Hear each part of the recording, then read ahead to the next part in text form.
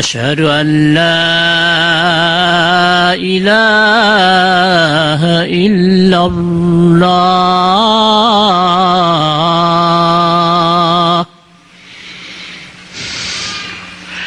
أشهد أن محمد رسول الله. أشهد أن محمد رسول الله.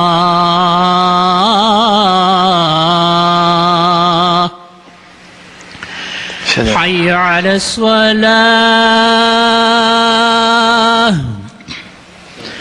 حي على الصلاة.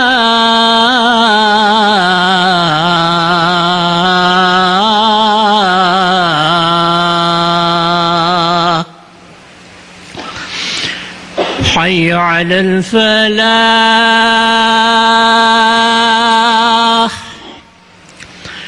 حي على الفلاح.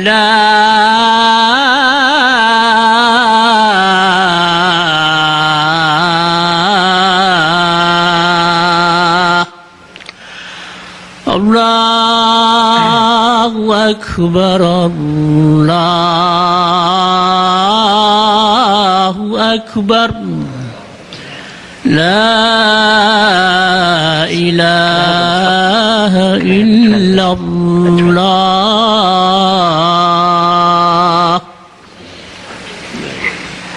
إن الحمد لله أحمده وأستعينه وأستغفره وأستهديه وأعوذ بالله تعالى من شرور أنفسنا ومن سيئات أعمالنا.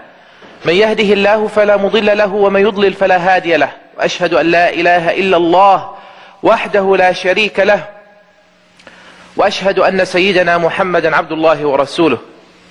أرسله بالحق بشيرا ونذيرا بين يدي الساعة من يطع الله ورسوله فقد رشد ومن يعص الله ورسوله فإنه لا يضر إلا نفسه ولا يضر الله شيئا. أما بعد فإن أصدق الحديث كتاب الله وخير الهدي هدي رسول الله صلى الله عليه وسلم وشر الأمور محدثاتها وكل محدثة بدعة وكل بدعة ضلالة وكل ضلالة في النار. يا أيها الذين آمنوا اتقوا الله حق تقاته ولا تموتن إلا وأنتم مسلمون. يا أيها الناس اتقوا ربكم الذي خلقكم من نفس واحدة وخلق منها زوجها وبث منهما رجالا كثيرا ونساء. واتقوا الله الذي تساءلون به والأرحام. إن الله كان عليكم رقيبا. يا أيها الذين آمنوا اتقوا الله.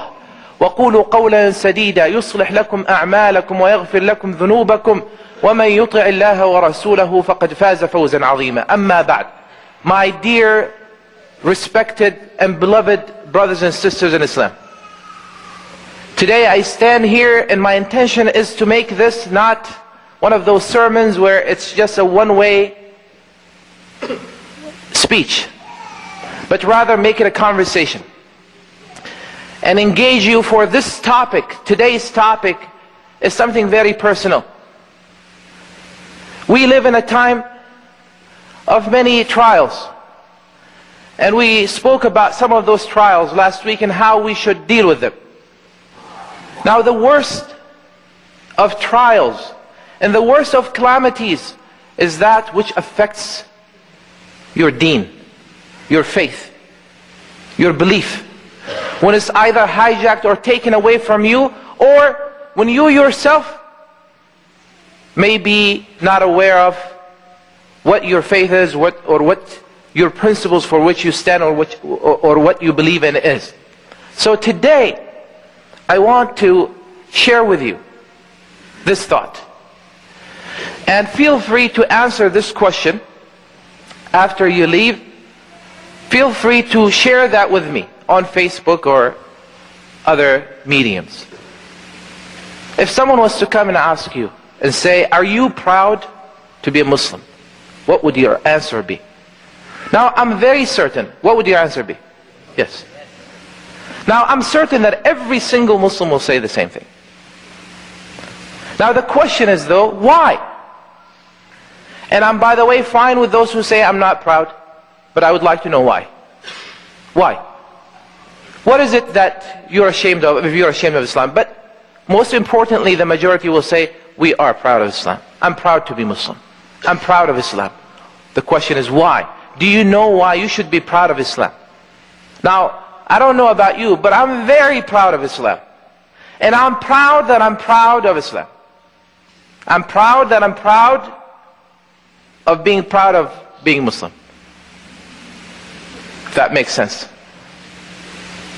And I have my reasons. In fact, I'm proud to be proud, to be proud, to be proud, and I have an endless number of reasons why I'm proud to be Muslim.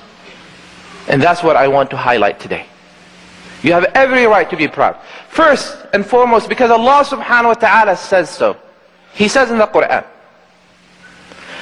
ومن أحسن قولا ممن دعا إلى الله who is better in speech than he who calls to Allah? Who is better in speech than he who brings people closer to their Lord and their Creator? Who is better?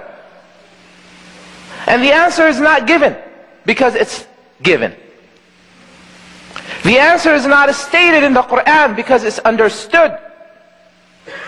The answer is not explicitly mentioned because it's self-evident. The question is, وَمَنْ أَحْسَنُ قَوْلًا مِمَّنْ دَعَا إِلَى اللَّهِ And it's blank. There's no answer. Why? You should come up with the answer. You should know the answer. Because if you're reading this ayah and you understand what it means, that means you already know the answer. And that's why you are there. وَعَمِلَ صَالِحًا And this is the key. Who is better in speech than he who calls to Allah and does righteous deeds? Why shouldn't you be proud? وَقَالَ إِنَّنِي مِنَ الْمُسْلِمِينَ And on top of that, he says proudly that I am of those who submit to the Lord, to Allah. I'm, I'm of those who are Muslims. The very word itself and the name that is chosen for the religion itself is something that you should be proud of. Very unique. Your faith and you yourself, who you are as a Muslim, your faith is not named after a person. It's not named after a region or a tribe. Right? When you say I'm a Muslim, it's true in each and every single one of us. It is not, you're not named, or you don't name yourself, or you don't follow uh, uh, uh, some ethnicity. No. You, this is a state of mind. It's a conviction. You're saying, I submit to Allah. Who doesn't want to submit to the Lord? Tell me. Who doesn't want to submit to the creator of the heavens and earth? So the first reason why you should be proud according to this is the fact that you understand a concept called subjugation of one's passion to the one and only God, the creator of heaven and earth. Allah the Almighty. That's why you should be proud. You should be proud because you're, you're not only because you're a servant of Allah, but you're an aware servant. You're aware of your servanthood. You're aware of the lordship of Allah subhanahu wa ta'ala. وَمِمَّا زَادَنِي And one of the poets, you know, proudly says, وَمِمَّا زَادَنِي شَرَفًا وَتِيهًا وَكِدْتُ بِأَخْمُصِي أَطَأُ الثُّرَيَّ دخولي تحت قولك يا عبادي وأن صيرت أحمد لي نبيا Part of me, part of my pride, the reason I feel I have this sense of glory, it is not because of my height or beauty or, or ethnicity or nationality. All of these things are, you're given those things. You don't earn them. You should appreciate them, but there's no reason for you to be proud or think, you know, less of someone else. Because you don't earn those things. You don't win them in a competition. You don't even apply for them. They're just given. But when it comes to faith and religion, it must be a choice of yours. And it should be a choice that you're proud of. So this poet says, I am very proud and part of my pride is the fact that I am one of your servants, O Lord. That's why I'm proud. And later he says, and because Prophet Muhammad sallallahu alaihi wasallam is my messenger. And that's the second reason why you should be proud. That you are of the best of nations. And to you Allah subhanahu wa ta'ala sent the last and final messenger. And with him the final testament, the Quran. Allah subhanahu wa ta'ala favored you. This is a favor from Allah subhanahu wa ta'ala. He kept his best, you know, to the end. And you came to be aware of that. That's another reason why you should be proud. Why shouldn't you be proud? When your faith, what you believe in, calls you to do good and be good and enjoying what is good and uphold good. There isn't any good out there that people agree upon to be something good except that your faith calls you to. Not too long ago, I was listening, I was attending a session held by uh, a well qualified individual. He wasn't a Muslim, but it was on management and, and, and so he made very, very powerful and profound remarks and statements. And people were very uh, touched by those, very inspirational in nature. But every time he made some strong point, you know, something pops in my, you know, just a thought comes to, to my mind and I, and I smile. And he noticed that, uh, that I did that more than once. And there was one time where I couldn't hold myself and I, I turned to the person next to me who happened to be Muslim.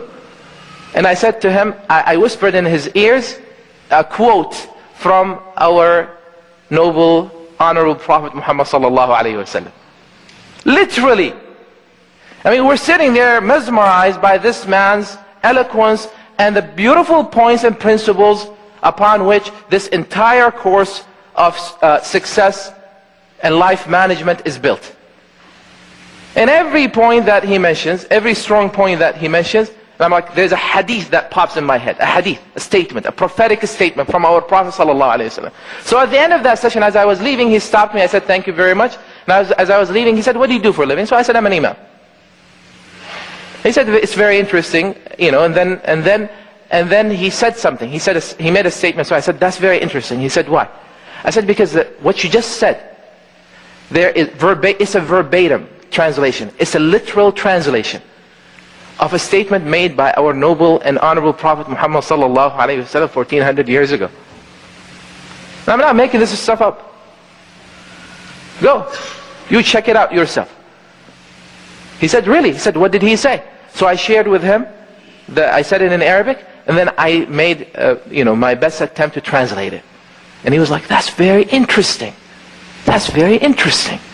That's why I'm proud of Islam. Because there isn't any good except that Islam taught me. And if there's anything that wasn't there, someone may say, Sheikh, wait a minute. What about the use of iPad? iPads are great inventions. Right? You yourself have one, right? I'm, I'm, I'm a proud owner of an iPad.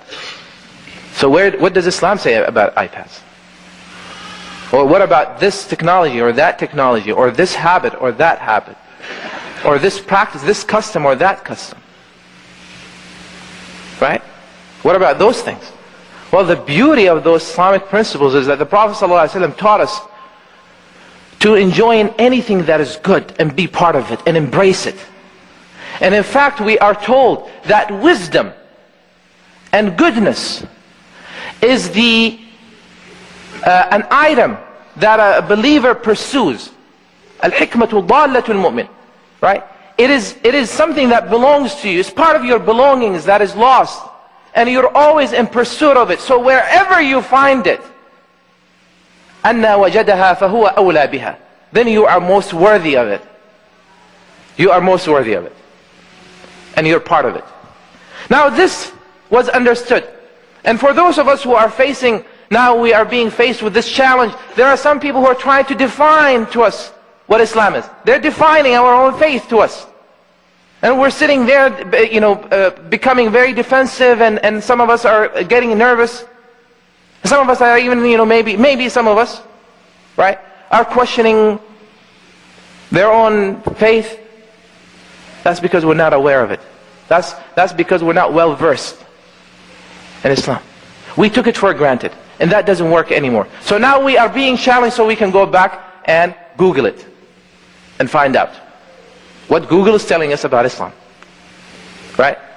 And then we have, we have, we have this basic uh, connection to it that helps us because Google just brings everything, right? So you basically distinguish and you start filtering things. And you're like, no, no, that sounds more like Islam. Right? The right thing always sounds more like Islam. And the craziest stuff, you're like, no, that's not the Islam that I know. That's not the Islam that I was taught. That's not the Islam that I see. Right? Isn't that true? That's, that's true. So, here in our history, here's a story. Early on, and now you have to understand that in the early days, because some people come and tell you, no, that's what Islam used to be in the early days, and then later it changed. Later the true, you know. Now, you, you have to understand that whatever was taught in the early days of Islam, that is what? The foundation. That's the foundation. Whatever was taught first, that's the foundation. That's the most basic. So what do we know of that? We know that the companions of the Prophet ﷺ were not necessarily embraced by their society. They were not necessarily treated like first class citizens or like even citizens. We know that they were subjected to much more hatred and bigotry and Islamophobia than we, we can ever dream of, of, of facing. And, and we seek refuge in Allah from, from being subjected to something like that. We shouldn't be looking, you know, right? We seek refuge in Allah from something like that. So in the middle of that heat, the Prophet ﷺ gave permission to some of his companions to leave, to leave Mecca, and go to Abyssinia, where there was a ruler, the Negus of Abyssinia, the king of Abyssinia. Now, when they were there, they lived for a little bit, uh, you know, in security and peace. But soon, the Meccans sent an envoy. They, they sent basically their, their ambassador to claim back these rebels and bring them back. And now in order for that to happen, he had to what? Do the same thing. Demonize them. Dehumanize them. Call them rebels, terrorists. Right? Uh, uh, basically use scare tactics and start a smear campaign against them. People who just left Mecca, they, they, they, left, they left the most beloved place to them because they wanted to worship their Lord in peace. And because they were uh, pursuing freedom. So the Meccans arrived to Abyssinia and of course they made a case for themselves. So the Negus he was a smart man. Najashi, may Allah's mercy be upon him, was a very smart and just ruler. And that's what the Prophet ﷺ anticipated. He said, he is indeed just. So Najashi said, wait a minute, let, let us give them, let, and this is what smart people do. And that's what you should spread. You should tell your friends and your colleagues. Smart people just don't, don't, don't listen to one side and uh, judge based on one side's view. They don't. Right? If you want to uh, learn about Islam and Muslims, you go and ask Muslims. You don't go and ask Fox News. Right? That's not where you get your information from. And you definitely don't get your information from someone as crazy as Glenn Beck. Seriously. If, if, if these are your sources of information, Wikipedia isn't, isn't even enough then you have a serious issue. Because when I wanted to study uh, other religions, or when I wanted to study something, then I need, I need to go to the, to the original sources. Right? So, he said, let's listen to them. Let's see what they have to say. And here's what happened. Long, uh, to make a long story short, the companions of the Prophet ﷺ decided to speak to the, to the Negus, to the king, and share with him honestly and openly what Islam is all about and what they stand for. They are not going to sugarcoat anything or change anything because we have nothing to, to hide. We have nothing to be ashamed of. So they, they basically chose Ja'far ibn Abi Talib, the cousin of the Prophet wasallam, to represent them. So when when uh, so Najashi asked him, look, look at this. You know, he said, he said, what is this religion of yours that caused you to depart from your people, from your own people? And how come you did not enter my religion?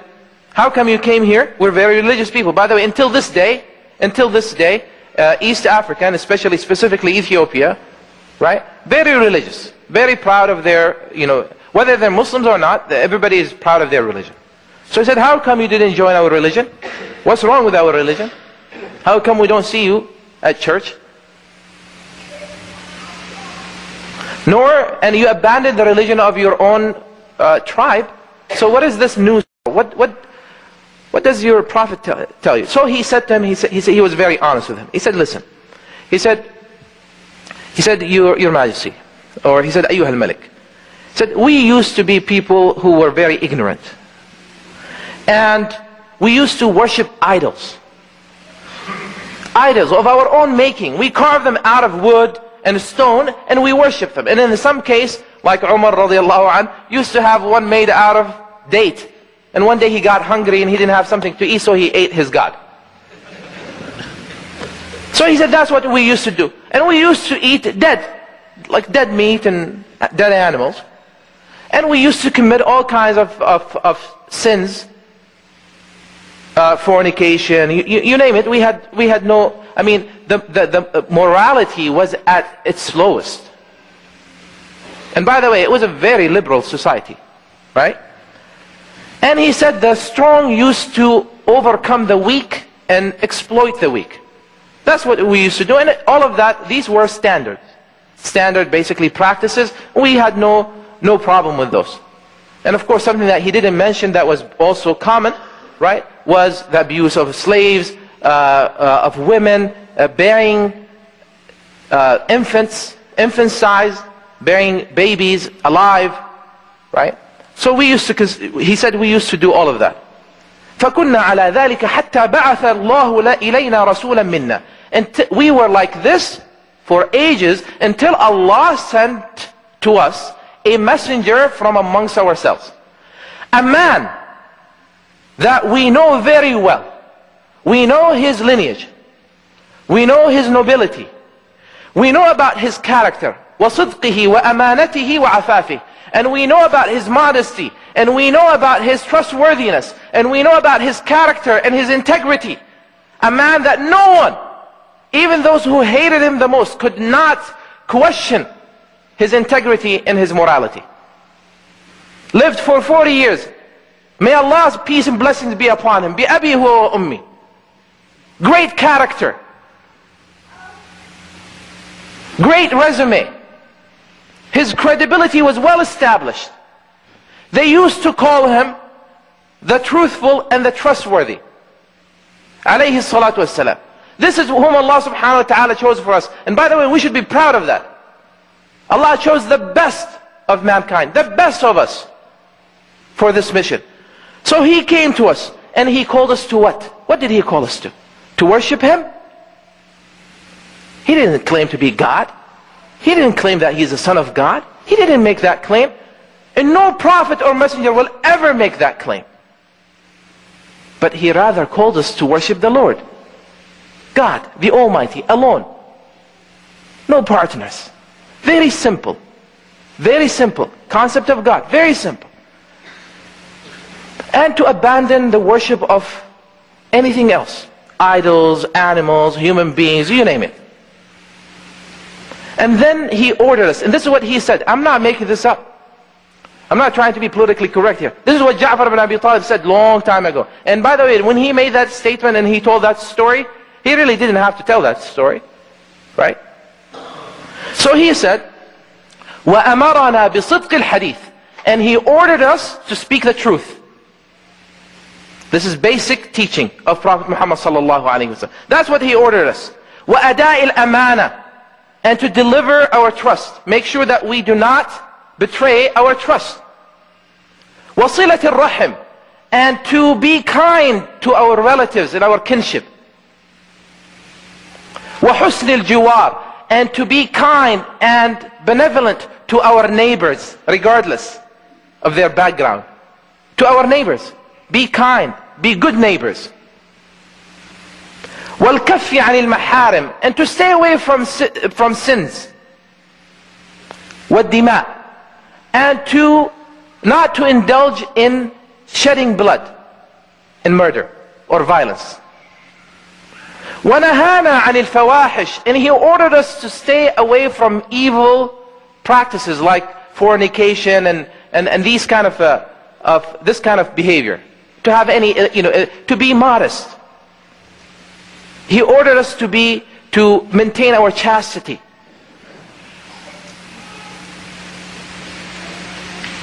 and he ordered us to stay away from uh, from perjury وقول الزور or to consume the wealth of the orphan to exploit the orphans or to slander to slander each other this is what he told us to stay away from and he ordered us to worship the lord and pray and fast and give charity this is it basically islam 101 what is wrong with this what is there not to be proud of I say this and I ask Allah to make you and I of those who listen and follow the best of what they listen to. أقول هذا القول واستغفر الله لي ولكم فاستغفروه يغفر لكم.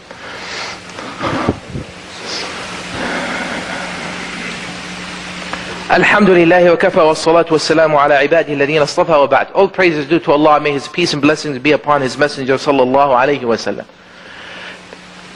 Of course, we know that later on, Najashi himself was very touched by this, and he decided, of course, not to um, let the Muslims down. And he basically turned away that the, the ambassador that, uh, or the, the envoy that, uh, you know what is very interesting? The very person that actually came to take the Muslims with him back to Mecca to persecute them, he himself became Muslim. Amr ibn al-As. And Najashi, the king himself became Muslim. Right? You go back to that region, now you find his, his grave is still until this day marked. Radiallahu anh. May Allah be pleased with him. Later on, uh, we also know of a story of Abu Sufyan. Because a very similar, something similar to that happened, except it had a different twist in, in what is uh, modern day Syria, basically. May Allah subhanahu wa ta'ala ease the situation there for our brothers and sisters. So modern day Syria, Sham, right? And in, and in that case, it was the Byzantine king. He received a letter from Prophet Muhammad wasallam calling him to Islam. So he wanted to investigate. He asked if there is anyone from that tribe, from the tribe of Prophet Muhammad present. So they told him that there is this group of merchants from Quraysh. But guess what? They were not Muslims. In fact, they were at war with Prophet Muhammad. They hated him. So he said, okay, that's fine, bring them. And he brought forth Abu Sufyan, had him stand, and he started questioning him, asking him questions about Prophet Muhammad and what he stands for. And he told the companions, he told the, the, the other people to stand behind Abu Sufyan. And he said, if he lies, you let me know. Because if you guys are lying to me, you're in trouble. So Abu Sufyan didn't want to lie because it's going to make him look bad in front of his followers because he was the chief. And when he asked him, Abu Sufyan had to be truthful. Right? So of what he asked him, he said, he, asked many questions, but of those questions was, he said, who follows him? What type of people follow him? The elites of your community, your society?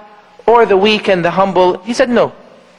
The weak and the humble are most, make most of, of his followers. He said, that's very interesting, because that's, that's, that's the case with a majority of scholars, uh, with a majority of prophets and messengers before him. Usually it was those, right? You, those who were, who were not. So anyways, so he said to him, does their number increase or decrease? He said, no, actually, it increases. Fast growing. Fast growing religion. Fastest growing religion. So if you want to know why I'm proud, I'm proud because I'm one of uh, me and people who profess Islam, all us, you know, one out of every five people in the world are Muslims. One out of every five people in the world. Right? It's the largest religion and the fastest growing. Now tell me, are all these people crazy and mad? Brother Travis that we had here with us last, last week accepting Islam. Sister Maria the week before. All these people, they don't know what they're talking about. In fact, the most intelligent of people. They're the most intelligent, the most humble of people. There is a reason. There is, there is a reason why one out of every five people in the world is Muslim. And I'm proud of that. So he said they increased, their number increased. So he says, wait a minute. But does any one of them leave Islam after accepting it? And look, look how precise he was. Due to the fact that he was dissatisfied with Islam, with the principles themselves. They, they, had, you know, not, not what Muslims do, because Muslims, we, can, we could, sometimes we traumatize people. May Allah help us overcome our weaknesses and our shortcomings. But he said, does anyone leave Islam because they're upset with it itself? After, after knowing it. And he said, no. This is what Abu Sufyan said. He could have said, yeah, of course. That's why we're not Muslim. That's not, he's not Muslim. No, he didn't. He had to be honest. Then he said to him, did you ever accuse him of lying? Ever? Has he ever lied to you? Did you ever catch him? Uh, was it, is there any registered case of him lying or saying something false? He said, never. Never. This is Abu Sufyan, his worst enemy at the time. So he said to him, does he betray trust? Does he commit uh, treachery? He said, never. No. And then Abu Sufyan said, that's when I had the opportunity. He said, wait a minute, now we have this truce between us and him. We don't know what he may do. That's the only time he was able to basically inject something or imply something. But nothing. Nothing. That's why I'm proud. That's why you should be proud. We should be proud because Prophet Muhammad taught us that a true Muslim is he whom people are safe from his wrongdoing. People feel safe in his presence. Because Prophet Muhammad ﷺ taught us and gave us high standards to live up to. Because Prophet Muhammad ﷺ gave us amazing examples to work for. And I will conclude with this story. I told you this before. I'm going to tell it for the sake of those who are on break. Some of our kids or anyone who's here for the first time. And I will be very quick, I promise. A man was captured by the companions of the Prophet ﷺ, who was an enemy of the Prophet and the Muslims at that time. They brought him, the Prophet ﷺ did not punish him. All he did, he asked them to keep him in the masjid, in the musalla. He said, keep him there, tie him to the, to the post, one of the posts, leave him there, you know, feed him, take care of him. By the name of Thumama ibn Uthal, you can look up the story yourself, it's, it's well documented in itself. So three days later, the Prophet ﷺ releases him. He said, just let him go. Now, what this man got, in my opinion, was he got an exposure to the Muslim community from within. An ideal, good Muslim community. They were not perfect, but they were good. And that's why it is our moral responsibility now to live up to what we say. I mean, we're proud of Islam, but are we proud of ourselves as Muslims? That's what we need to work on. So he said, he said, leave him, uh, set him free. They set him free. He leaves, takes a bath, comes back, and he says, Ashhadu an la ilaha illallah wa ashhadu anna Muhammadan Rasulullah. You all know what it means. He became Muslim. Now, the question is, what made this man Muslim? No one spoke to him. No one said anything. No one debated with him uh, about Islam. They didn't show him any presentation about Islam. They didn't try to basically, and they did not threaten him. Nothing. But what he got was, he got a taste of Islam. He saw Muslims. He saw what Islam is from within. And anyone that sees a, community that upholds the teachings of Islam would want to be part of it.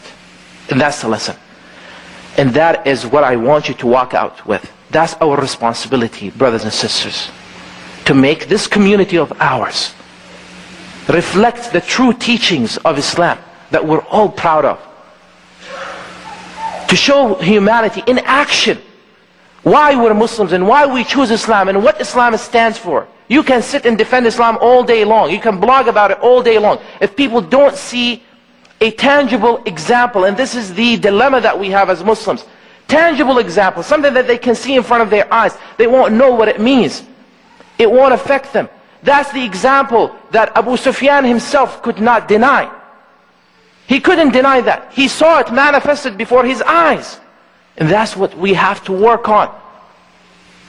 That's what, you know, instead of being defensive and getting all nervous and getting afraid and panicking, we need to get busy doing what we have to do. We need to get busy practicing Islam and coming together as Muslims and showing that example of, of the one body that aches when one part of it suffers. The whole body suffers when one part suffers. To show that example. And that won't happen if we all just, uh, if we all stay in our own little corners, and if we all have just our own way of doing things. We need to come together to do this. Let us set that example for ourselves, for our children, for our neighbors, for the society that we live in, for humanity. I ask Allah Azza wa Jal to help us achieve that. ربنا آتنا في الدنيا حسنة وفي الآخرة حسنة وقنا عذاب النار عباد الله إن الله يأمر بالعدل والإحسان وإيتاء ذي القربى وينهى عن الفحشاء والمنكر والبغي يعظكم لعلكم تذكرون اذكروا الله يذكركم واشكروه على نعمه يزدكم ولذكر الله أكبر والله يعلم ما تصنعون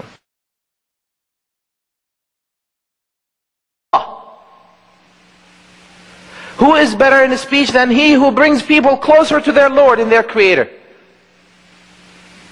Who is better? And the answer is not given because it's given.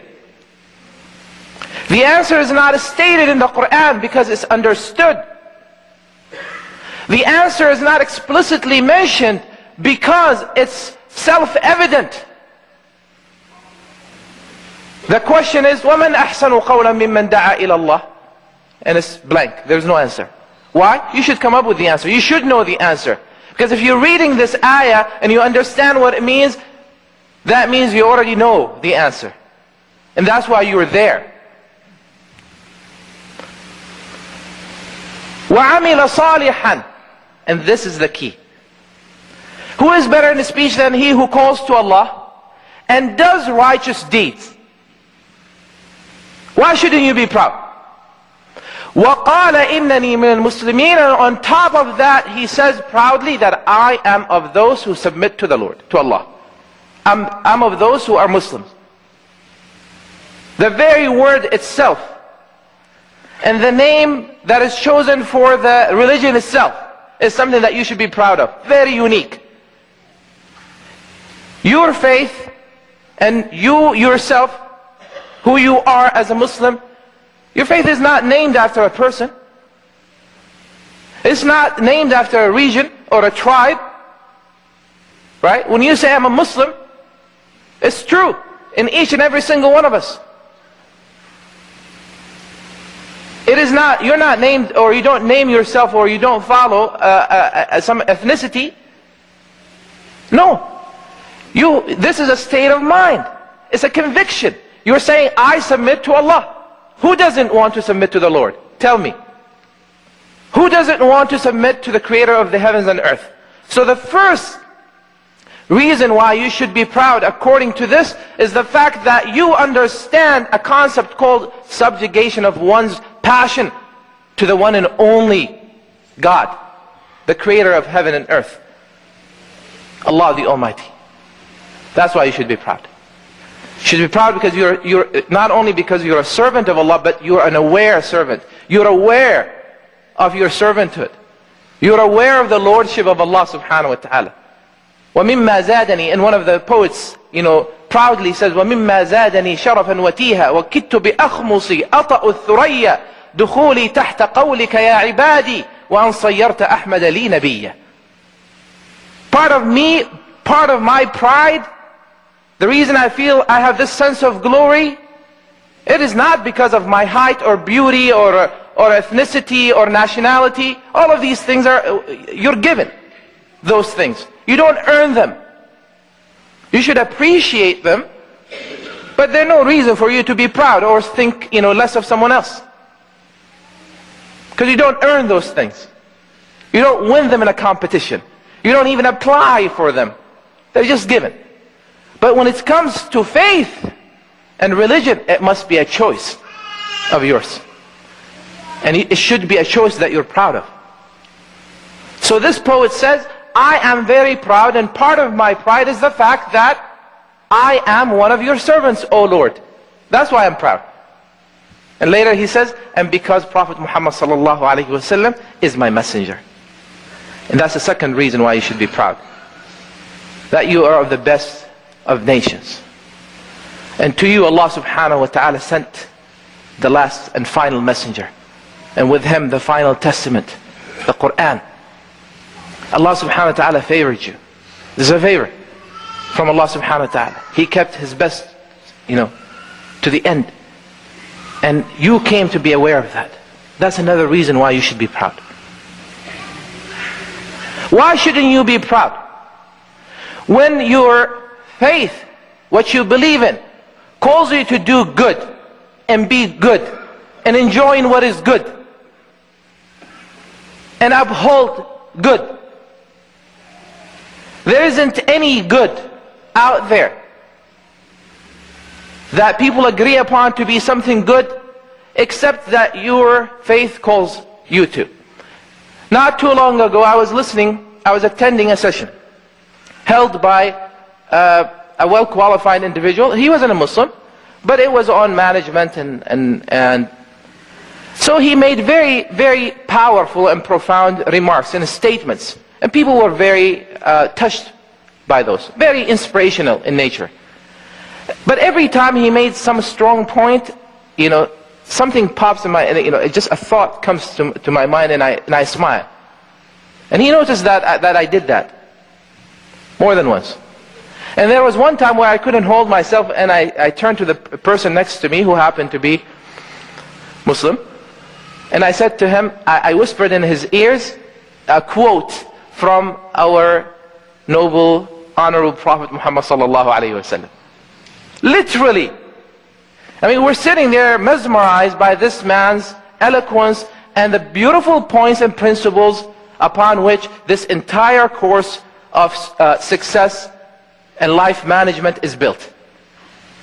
And every point that he mentions, every strong point that he mentions, I'm like, there's a hadith that pops in my head. A hadith, a statement, a prophetic statement from our Prophet ﷺ. So at the end of that session, as I was leaving, he stopped me. I said, thank you very much. And as, as I was leaving, he said, what do you do for a living? So I said, I'm an imam.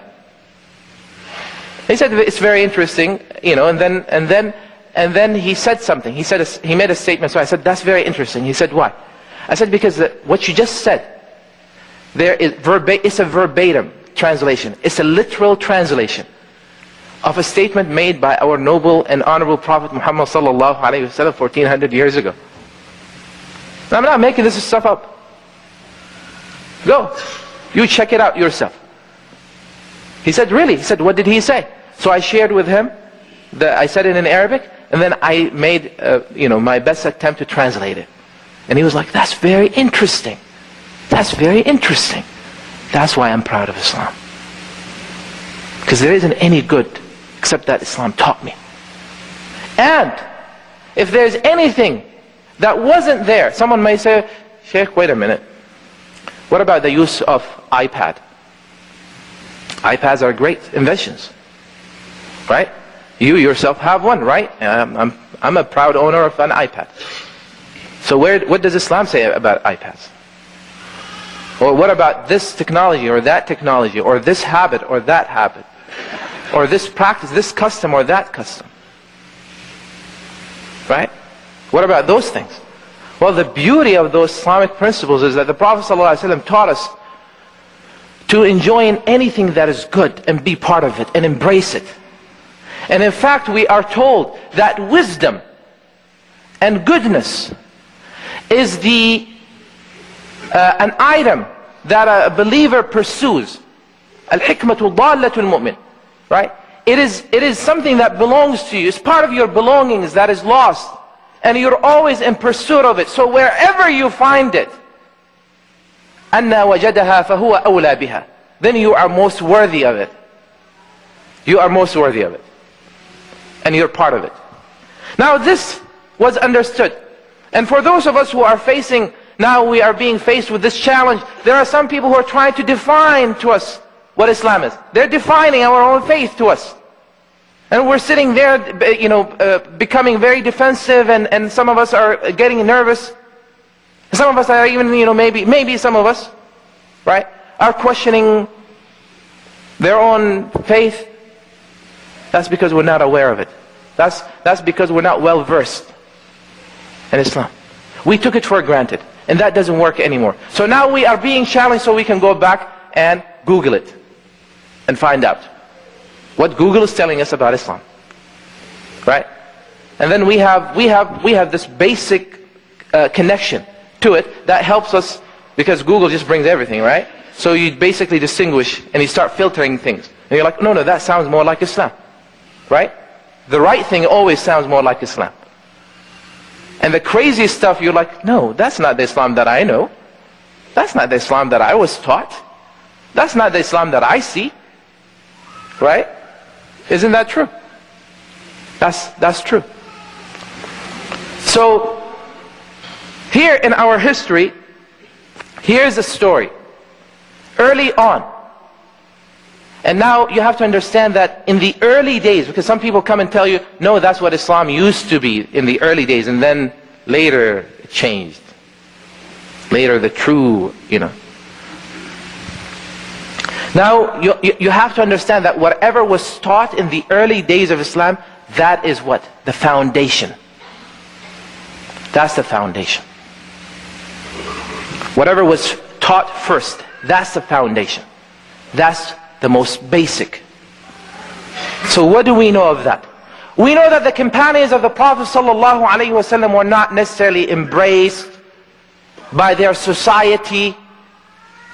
They were not necessarily treated like first class citizens or like even citizens. We know that they were subjected to much more hatred and bigotry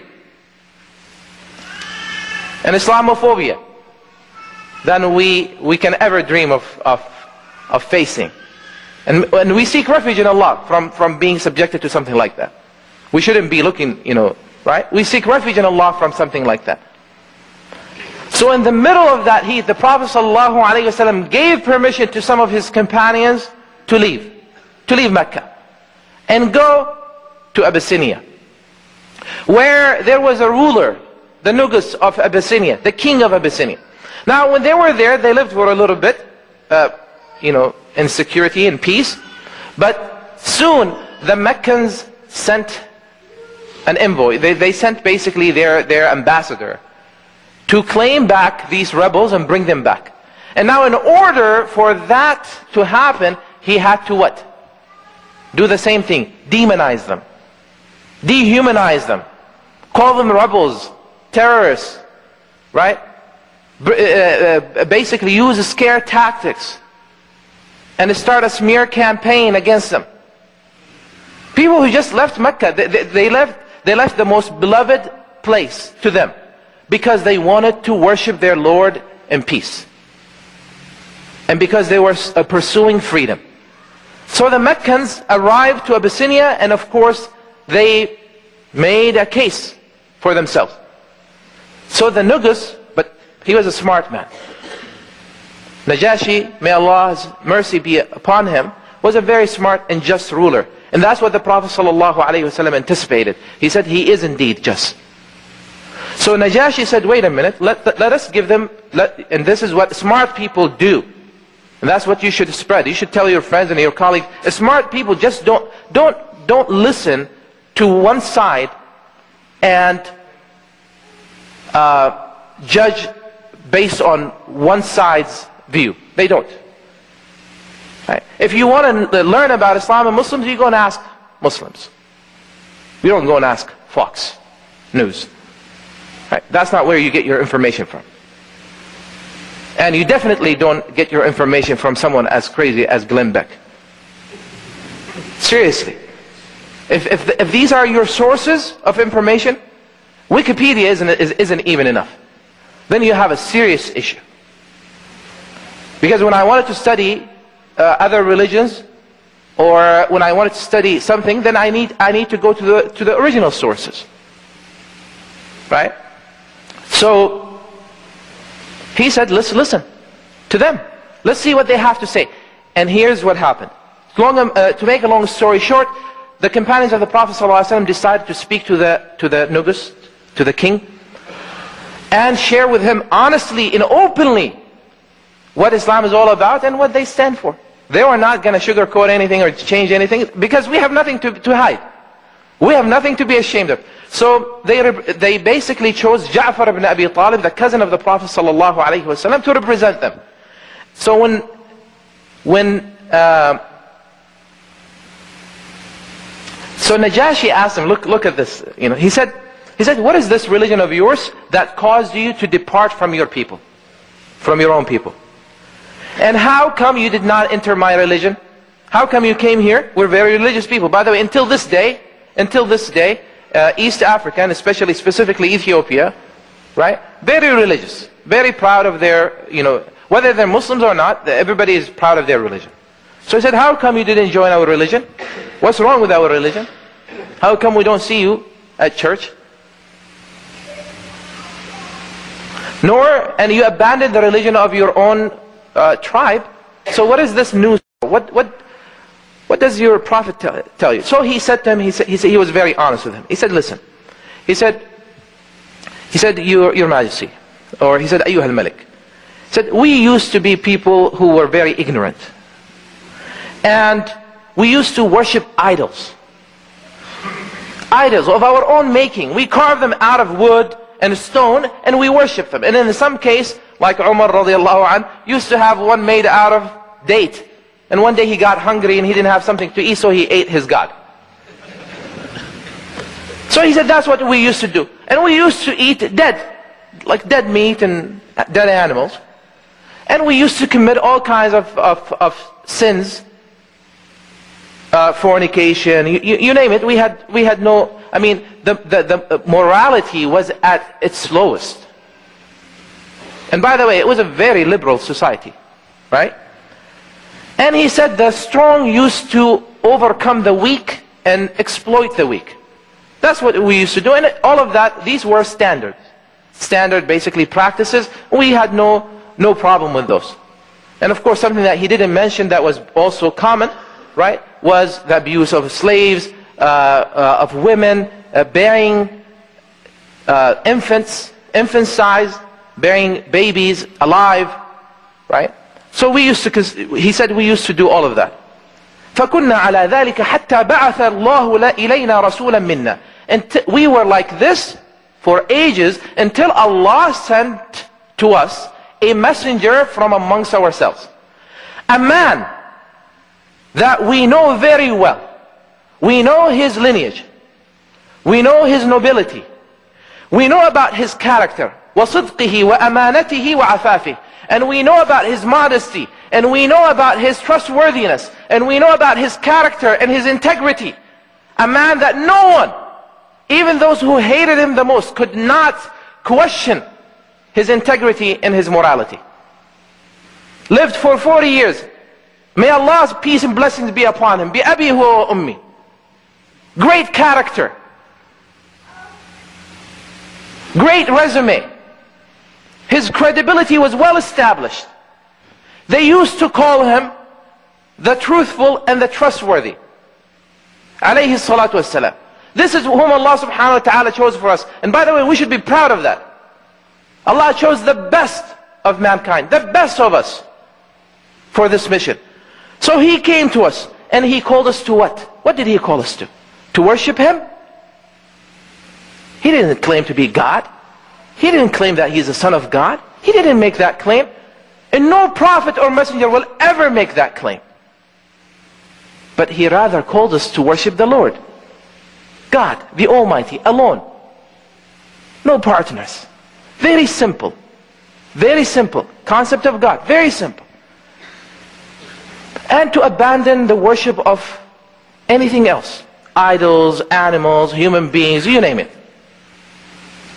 And then he ordered us, and this is what he said. I'm not making this up.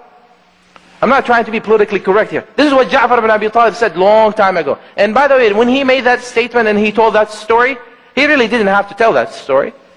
Right? So he said, وَأَمَرَنَا بِصِدْقِ الْحَدِيثِ And he ordered us to speak the truth. This is basic teaching of Prophet Muhammad sallallahu alaihi wasallam. That's what he ordered us.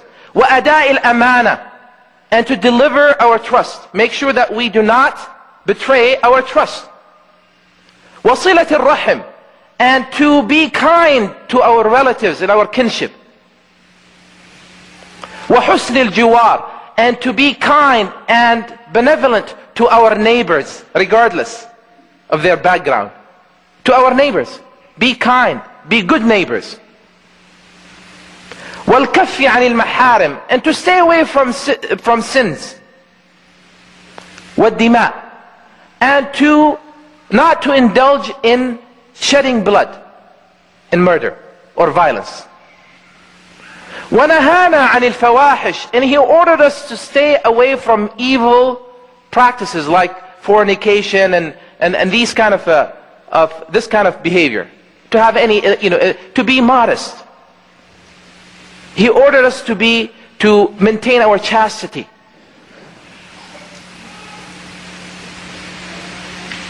And he ordered us to stay away from, uh, from perjury. وَقَوْلِ الزُّورِ Or to consume the wealth of the orphan. To exploit the orphans. Or to slander, to slander each other. This is what he told us to stay away from. And he ordered us to worship the Lord and pray and fast and give charity. This is it, basically. Islam 101. What is wrong with this? What is there not to be proud of? I say this and I ask Allah to make you and I of those who listen and follow the best of what they listen to. أقول هذا القول وأستغفر الله لي ولكم فاستغفروه يغفر لكم.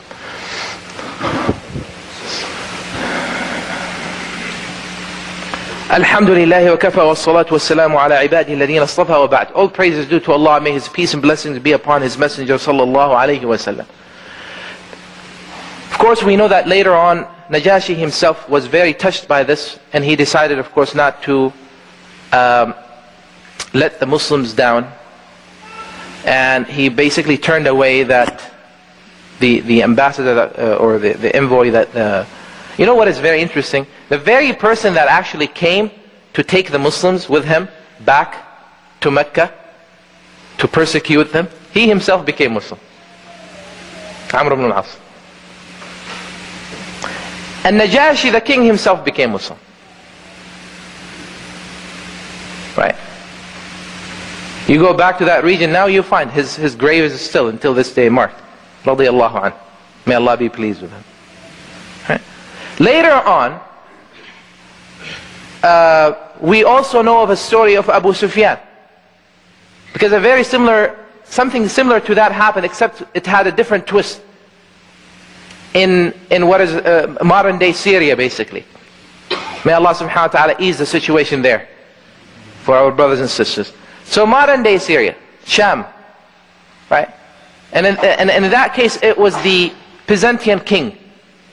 He received a letter from Prophet Muhammad sallallahu alaihi wasallam calling him to Islam. So he wanted to investigate. He asked if there is anyone from that tribe, from the tribe of Prophet Muhammad present. So they told him that there is this group of merchants from Quraysh. But guess what? They were not Muslims. In fact, they were at war with Prophet Muhammad. They hated him. So he said, okay, that's fine, bring them. And he brought forth Abu Sufyan, had him stand, and he started questioning him, asking him questions about Prophet Muhammad and what he stands for.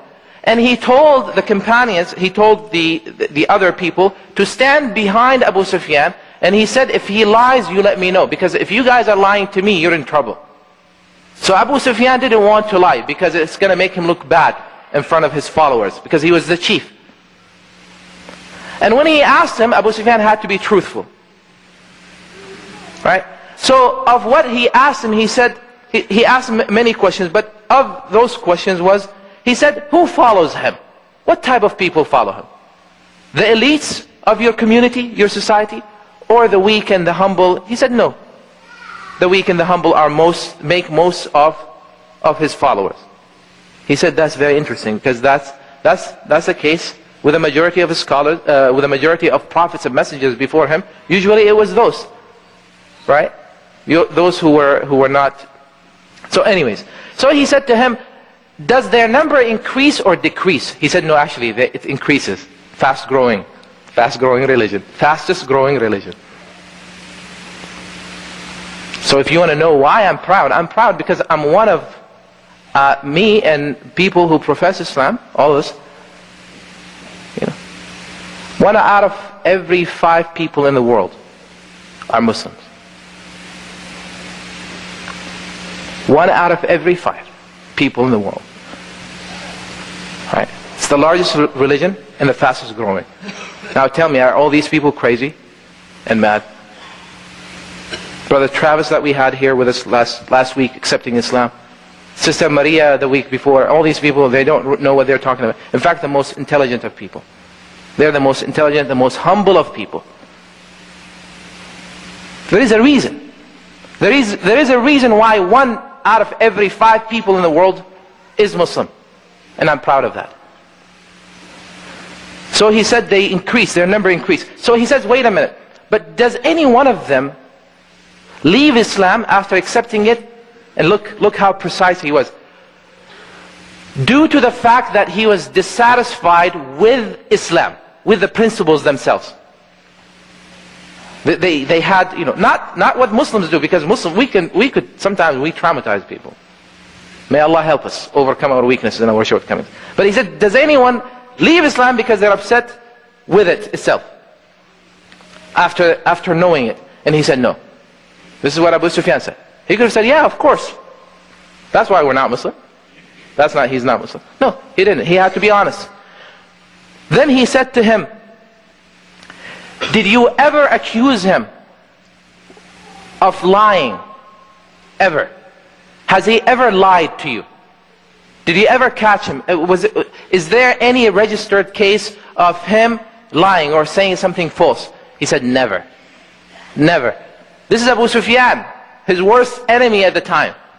So he said to him, does he betray trust? Does he commit uh, treachery? He said, never. No. And then Abu Sufyan said, that's when I had the opportunity. He said, wait a minute, now we have this truce between us and him. We don't know what he may do. That's the only time he was able to basically inject something or imply something. But nothing. Nothing. That's why I'm proud. That's why you should be proud. We should be proud because Prophet Muhammad taught us that a true Muslim is he whom people are safe from his wrongdoing. People feel safe in his presence. Because Prophet Muhammad taught us and gave us high standards to live up to. Because Prophet Muhammad ﷺ gave us amazing examples to work for. And I will conclude with this story. I told you this before. I'm going to tell it for the sake of those who are on break. Some of our kids or anyone who's here for the first time. And I will be very quick, I promise A man was captured by the companions of the Prophet ﷺ, who was an enemy of the Prophet and the Muslims at that time. They brought him, the Prophet ﷺ did not punish him. All he did, he asked them to keep him in the masjid, in the musalla. He said, keep him there, tie him to the, to the post, one of the posts, leave him there, you know, feed him, take care of him.